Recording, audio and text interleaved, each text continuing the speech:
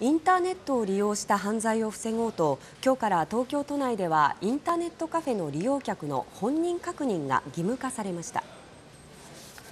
本日からあの本人確認が始まりまして、はい、あの身分証明書のご提示、はい、お願いいたします。